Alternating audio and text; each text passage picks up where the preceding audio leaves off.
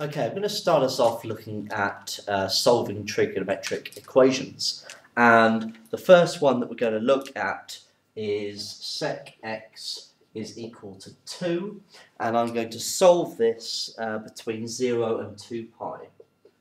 Okay, and this is going to be a nice basic one just to see how we can solve trig equations that involve this sec, cosec and cot. Now it's all about understanding which is which, uh, that sec x is equal to 1 over cos. Okay, so knowing that, we could say that, well, 1 over cos x must then therefore be equal to 2.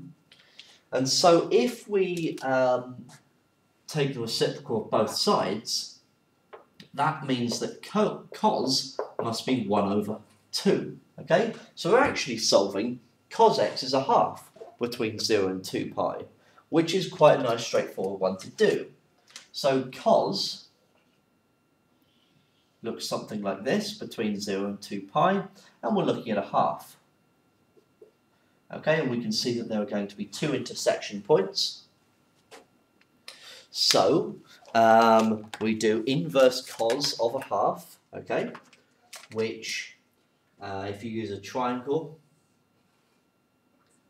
1, 2, root 3, and that is uh, pi over 3, and that's pi over 6. So if that is the uh, adjacent, and that's the hypotenuse, then x should be pi over 3, and that will give us this solution here.